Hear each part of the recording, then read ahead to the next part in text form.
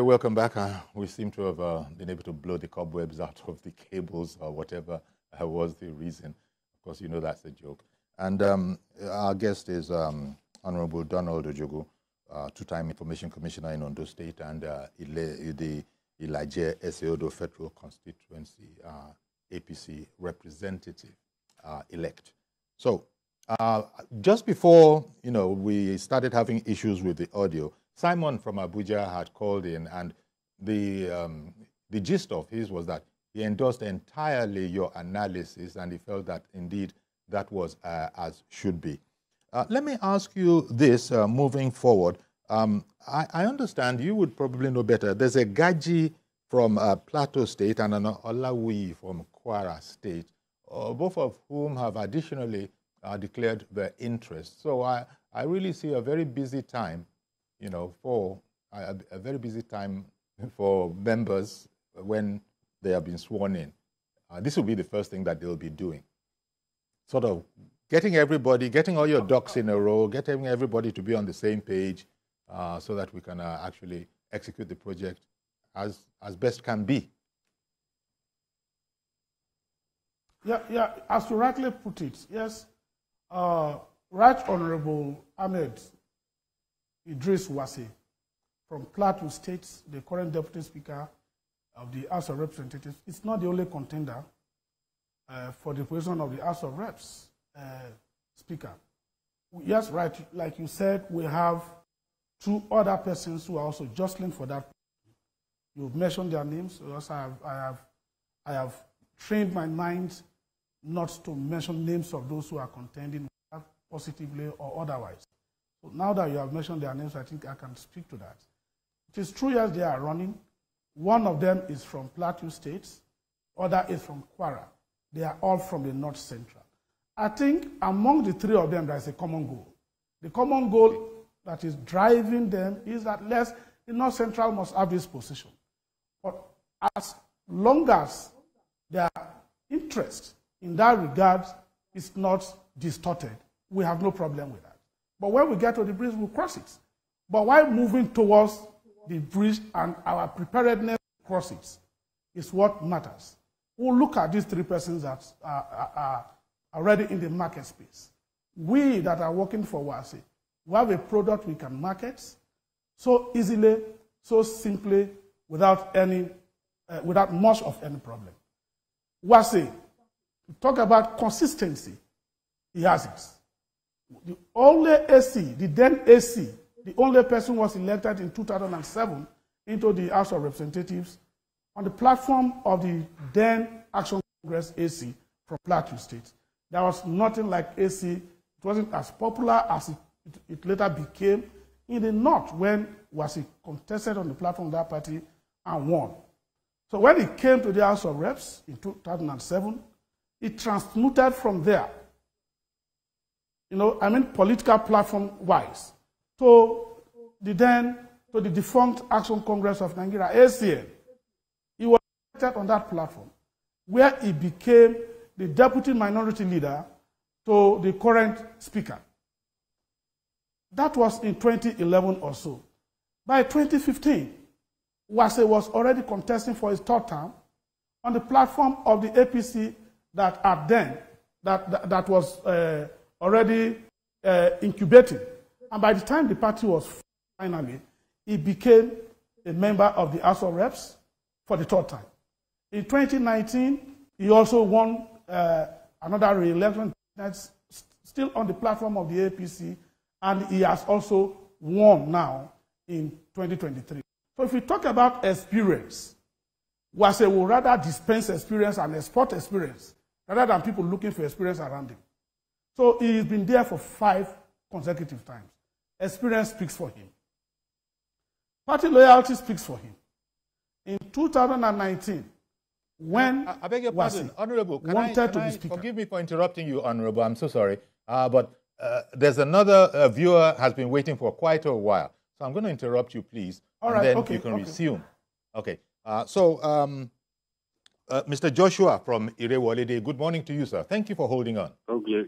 Thank you, Uncle Yori. Uh, good morning to you and good morning to your guest. Uh, from yesterday, we talked about uh, the uh, uh, Senate President and today the Speaker. I I want to put the two together because it's the same arm of government. I totally align myself with uh, South South for the presidency of the Senate for political balancing. But the bigger issue, Uncle Yori, is that uh, we need to build a national consensus on how to solve the problem at hand. I think this election is about actually uh, giving the responsibility or the mandate to rescue Nigeria, as it were, because uh, even if the present government has performed, you know that people are not connecting to their performance. So there's anger in the land. So there is something urgently that needs to be done. So I'm happy that the uh, president elect started it by saying, I am going to raise the stake higher by having a government of national competence. So we need our people to understand the, uh, the need to build a consensus first. Leadership will work when we have an institutional consensus on solving a problem that has been identified so that everybody will not be engulfed. So I want them to be on the same page while we are balancing politically the regions. They should be on the same page with the president-elect to first identify competence, and then we can do other balancing. Thank you, sir. Thank you very much, uh, Mr. Joshua, and uh, once again for holding on all that while uh, it's important to us. And we know in these times when uh, Naira is not as, uh, uh, you know, what is it, commonplace as it used to be. We're only just recovering. Okay, so back to you, Honorable Donald. Um, I interrupted you as you were, you know, doing some sort of anal an analysis on the sort of trilogy of Wase and, you know, Gagdi and Olawuyi and you were, you know, explaining that. Please resume. Yeah, yeah, no, no, no, no problem about that. I think it was a, it was a very positive interruption, interruption rather. The, the, the last speaker just provided a very valuable and an immeasurable nexus for me to continue from where I stopped. And that is the truth. If we are building a national consensus, why are you building national consensus? It is for us to strengthen democracy. It is for us to move democracy from where it is to a higher level to a more valuable level. And that is what we are trying to do. The danger we are facing now, people might not see it as a danger. Out of the 360 lawmakers in the House of Reps, we have an unusual situation at hand. Less than 70, about 66 or 64, my figures will oscillate between 64 and 64, 66, uh, are returning old members are returning. What am I trying to say? Over 220, some say 222, some say 220, but it's over 200 new members are coming in. So definitely we will expect heightened political activity because the number of youths who are coming in is even higher than the previous sessions of the, of the National Assembly that we have had, particularly with respect to the House of Reps. I attended a meeting where I saw young boys. I, I, I, was up, I was very happy. I marveled at the level of turnout of those in the youth brackets, the youthful age that is coming on board. We are coming with a very serious zeal to participate in national politics and contribute to national development. In the course of contribution, this, there is this natural struggle, the scramble for scarce resources. How do we do it? If we do not have an able, efficient, competent, and capable leadership, particularly at the level of the national, uh, of the House of Representatives, then we are putting democracy in danger. And that is where the issue of Wase even comes in. Wase has been minority, deputy minority leader. He has been deputy majority leader. He has been chairman of several committees. He has been deputy speaker. And here is a man in 2019 when he was about shaking the table against the wish and desire of the leadership of the APC. The leadership came together, said, look, gentlemen, leave this thing for this man, Honorable Femi Bajabiamila, let him emerge as Speaker. And he was asked to take up the position of Deputy Speaker. He took it. And from that moment till now, if my sense of history does not fail me, we have not seen much of turbulence in the National Assembly, particularly the House of Reps. That is leadership. Okay. That is leadership. Please. Another and caller. In any another case, caller wants in, to join the program. I, I, beg your pardon. Another caller wants to join the program. Uh, good morning to you, Mr. George. Again, apologies for keeping you waiting, but I did want, you know, my guests to find a place to land. Uh, please go ahead, Mr. George. All right. Thank you, Uncle Eric. Uh, good morning. Good morning. Yes, yesterday I was not able to complete my thoughts on this subject. I'm happy you are bringing it up again. In the first place, Uncle Yori, this subject matter is being debated because the party, the APC, uh, they are pretty long to speak on where and where the, the positions should be zoned to. So because they have not done that, people like us are opportune to be making our own suggestions. It's in that line that I'm also making my suggestions. I was saying yesterday that the North, the northern governors, they, they have introduced integrity into this election by insisting that there should be a shift to this. They have the votes. And they know that whichever side they support, the votes will go to that side. But they left that and said, no, let it go to the south. Chonkoyori, from the debate going on so far, those ones from that north are not asking for anything. They are not debating anything. I'm not hearing from people from that area saying, we want this, we want that. That is also to, to, to say that we should imbibe that type of integrity that they are bringing into politics.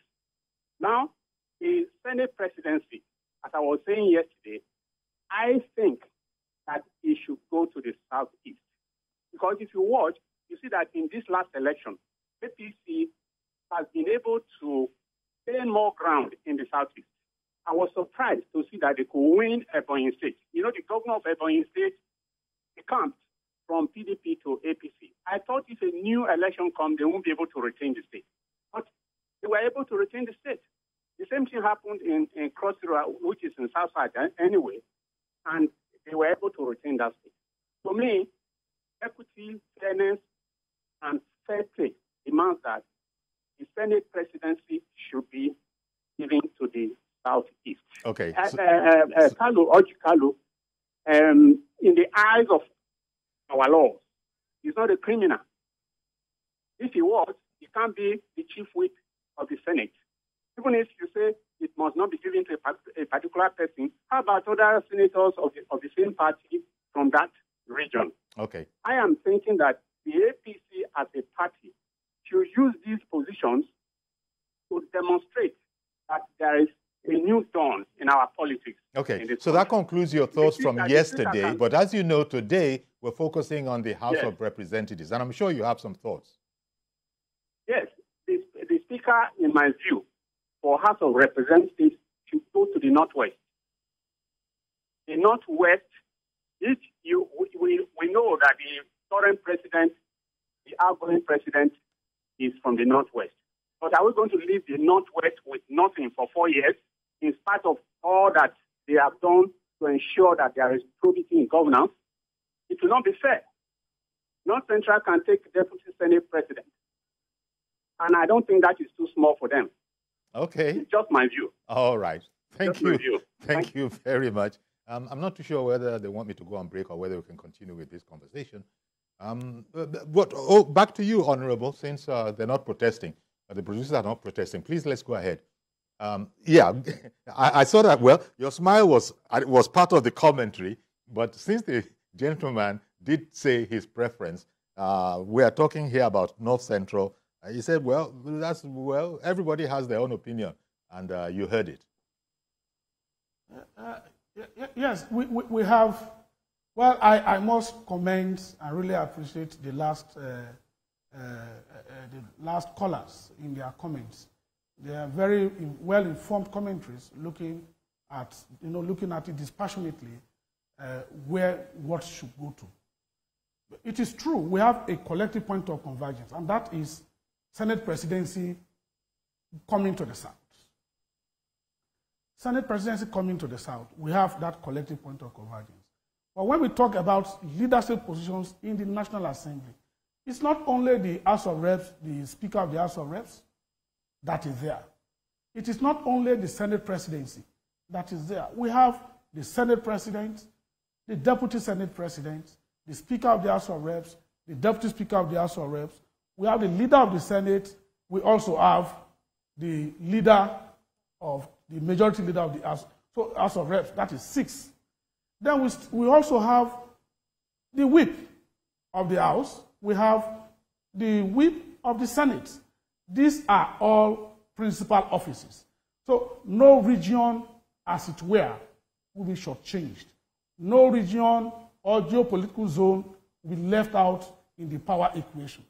But one thing I must let people know is that yes, we are not trying to force or bulldoze our way through. We are using every opportunity, every little opportunity we have to appeal to the conscience of the leadership of the party to consider the North Central for the speakership. That position has eluded the North Central for long. And we are strengthened by the fact that there is an available product that is very expensive, that is very valuable, that is very marketable. And that is the, our propelling force. If we did not have someone competent, someone efficient, someone who is capable, someone who has the capacity to drive what we are trying to market, wouldn't have been in this game.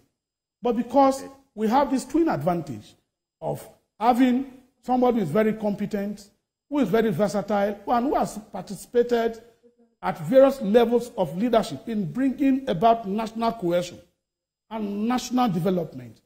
We are encouraged to support him and added with the fact that his zone where he hails from has not done it before.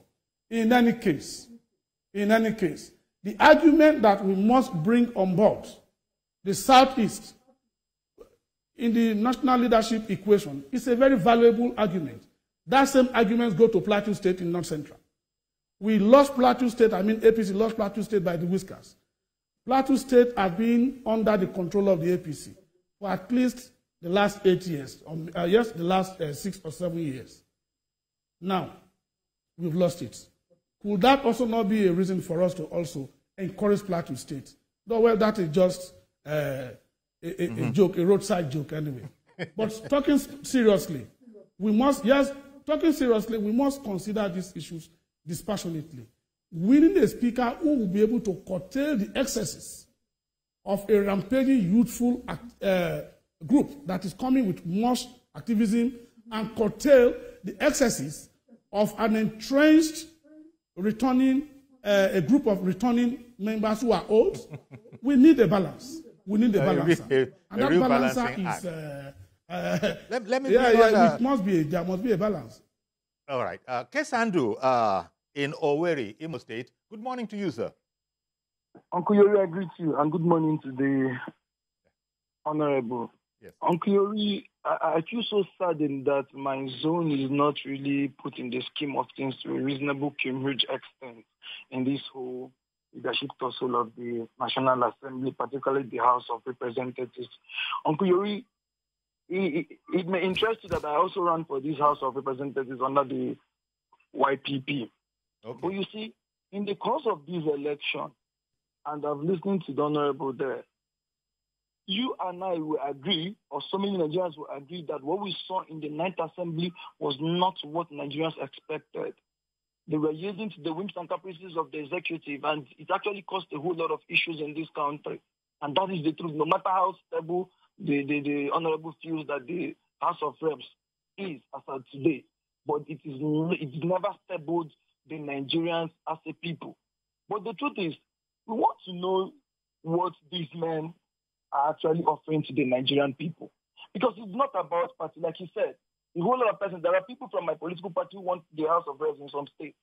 So we want to see what they can offer to the people as regards leadership qualities because the word speaker should speak for the people. But unfortunately, they have not spoken for us as Nigerians. Most of us into, came into this contest or threw our heart into the ring because we want to make effective change legislatively in Nigeria, in quotes, and the human banner, YouTube and Dobo Federal Constituency in particular. That is for me. But this is what we want to see from these people. We want to see somebody who can assure and reassure Nigerians, I'm not really the party. Because we have seen this party loyalty at something that has never benefited the people. Okay, let's say, aside the court cases that we have, if we continue with the business of governance, it should be about the people, it should not be about the party, because this whole party thing has never augured well with us for the last four years. And I can tell you that Nigerians are looking up to people that will follow the affairs of the National Assembly in such a manner that will be confident and comfortable that we can say no to Mr. President at some point. Because we didn't see it in the in the in the in the in, the, in this current dispensation. We saw a situation where the speaker, even the, the, the president at some point, senior president at some point made comment like whatever the president brings, he's going to sign it. So please, this is what we want to show. We want to show that the man is projecting has the capacity, credibility, and competency to stand for Nigeria. That is all we're asking, and we're not asking for too much. God bless Nigeria. Thank you very much, uh, Kesandu, uh, for calling in from Owerri. Did you uh, have any comments that you wanted to add to that um, contribution? Yes, just just a commendation because uh, uh, we can see we can see the patriotism, the fire of altruism, you know, passing through every strata of society in Nigeria. We have seen the last election. The message that was passed by the last election should be a lesson to everybody, whether you are in the PDP, APC, APGA, Labour Party, SDP, ADC, or even if you are an independent uh, candidate, if the concern would have permitted that anyway. But coming to the House of Representatives, when you get to the National Assembly, I am not there yet, but as a journalist of over 25 years, with over 12 years as an editor who has covered politics in this country, I am quick to know, and I don't need anyone to tell me, that once you get to the chambers of the National Assembly, there is no more party segregation. There is no more party delineation that there is no more partisan differences. They are all members of parliament and they are all nationalists in both chambers of the National Assembly. So what we could deduce from this is that there is a driving force. The driving force is that once they get there, they put their parties behind them, think of Nigeria first. What they do there afterwards depends on the leadership there. But I can take two things, two things takeaways from the outgoing session of the National, I mean the ninth session of the National Assembly. The, the PIB, now Petroleum Industry Act, PIA, have been indicated for over 20 years. The current National Assembly was able to do justice to it. It's a very historic decision that they took, very historic thing that has been planted for Nigerians. Yes, the benefits may not come in the next in the, you know, in the next two, three years after the passage of that bill and the assent that was given to it by Mr. President. That is one. Then let us also look at our budget cycle. It used to be between May and June, but now the current National Assembly that is going through the instrumentality of skilled and very effective leadership. Of course, when we talk about leadership, you cannot extricate, you cannot insulate the Deputy Speaker, you cannot insulate other principal officers from, from, from the leadership I'm talking about. It has returned, if it was there before it went away, assuming it was there before, it has returned to the December January period, which is very commendable. And where we have that, we could be sure of a very a greater percentage of budget performance. From what I gathered, I have not seen the, the evidence at hand, but from what I gathered even before my election, before our election rather, the budget performance is almost 100%. And the propelling reason uh, for that would have been that the budget was passed on time. So that is also a very key thing that could be highlight, highlighted as a major achievement that we must commend the outgoing session for. It's also commended, and we cannot do less. We cannot do less. But I got to bring in uh, um, uh, Mazi in Arochukwu. Good morning to you, sir. Uh, again. Good. Thank you for holding on. Good morning, sir. Good morning, I guess. Yes. You see, this issue of uh, speakership, speakership, whether uh, Senate President or speakership for House of Reps, As of yesterday, we were just discussing this issue in our board in the dinner of our discussion meeting.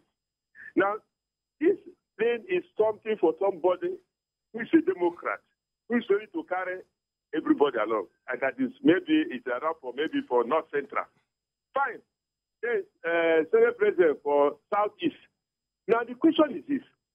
I think that in Nigeria today, everything now turns out to winner takes all, which is not supposed to be there. It's what you call equity in any place we go. Equity must exist.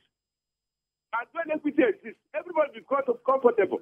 Not when we go there, everybody that this one typo typo. It's not, it doesn't make sense. If the speakership is for North Center, let me go for North Center.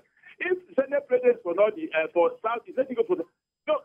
We have to be whatever we are doing so that to balance the equation, irrespective of their political party. Let us forget about political party. Let us look for people that are not uh, men and women that are what? That are ready to carry everybody in, whether House of Rep or Senate. No one who come here is regarding this as if he has because nobody nobody uh, is, is, is, is, is, is has a full stop for anywhere. You are the speaker or a senate president, make sure you carry everybody. That is why you say everybody is glamoring. Glamoring because everybody wants to be there. It's person to be there so that we direct all these committees. It's because of these committees of different parastatals. That is why you see everybody clamoring, clamoring. It must be my own. But, look, let us forget about selfishness or greed or tribe or anything we are doing in this country. Let us face reality of that. That is why Nigeria is dangling, dangling. Look at the country like that. Ask yourself, all the senators, all the House of what have they achieved? They have achieved nothing as far as I'm concerned. Okay. Because they continue going, they going, they are doing nothing. People are dying. Frustration everywhere. Mazi, I, I, got to interrupt you. Thank you for calling in, sir, so that uh, our guests can have a chance to, you know, you know, come in on your presentation. Please go ahead, Donald. I, I, I, think that was a very beautiful uh, challenge. It's true because it's also not too good for in democracy for the winner to take all. But like I said, we had a very fierce battle fighting uh, during the last election. But one fundamental thing that shaped the outcome in various places of the last election is that individuals who merited victories were, were, were voted into power, whether at the level of governorship or at the level of, uh, of, of, of the legislation. The examples are everywhere. Okay. Not the party. And where you have, yes, where you have where you have the advantage of reaping so from the benevolence of people outside your party, then, then uh, you, have no, you, have, you, have, you have no business than to do otherwise, than to make sure that everybody is carried along. An outside broadcast. So I want to thank, I'm so sorry, thank you very much uh, for the, I'm so sorry about this rush, but we have to cut away uh, to a live feed. Once again, we really appreciate your coming on our program this morning. That's our program. Stay with us, please, uh, you know, you know, as we continue uh, the rest of our broadcasts.